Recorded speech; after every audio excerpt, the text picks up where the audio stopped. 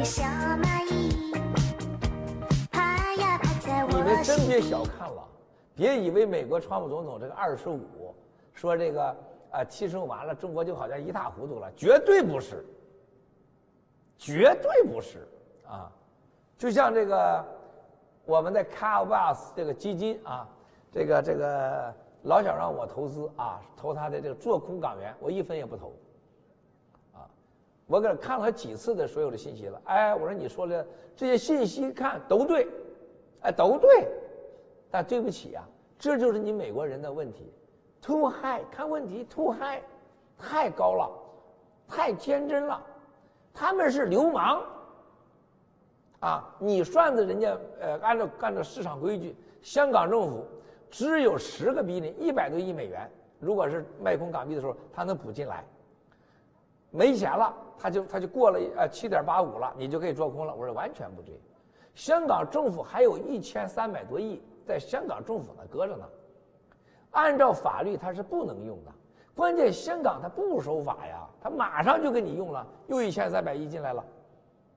那你要有多过一千三百亿的钱在等着，啊，但是我足够，我现在的所有的我用我的 counter，我的这个等着我打的一万亿美元都够。我说我告诉你，共产党。一定不惜代价给他上来。他说共产党拿不出超过一万亿美元。我说你错了，共产党把随便一样事都拿出一万亿美元来，紧急的对付你没有问题，他会捍卫港币的。啊，所以我不给你啊，我我的人生不投机，啊，绝不投机，不短期投资，我只投资不投机，所以我不干。但是港币什么时候会出问题？一定会出问题。我告诉他，如果中美贸易全面调到二十五的时候，坚持半年，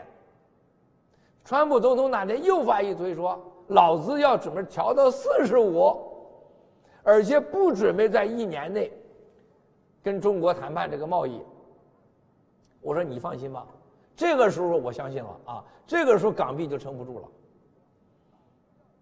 了，啊。我说这个我们就不叫投机了，我们叫长期投资。立马我会砸进去几千亿美元。啊，我这说完以后，那屋里边人都给我鼓掌，啪啪啪啪鼓掌啊，都鼓掌，都支持 Miles 郭 啊，而且都说郭先生你根本不用拿一分钱，如果到那时候挣了钱，我们愿意给你个 three percent 啊，三三分百分之三，哎，够大方的了，百分之三很多钱啊。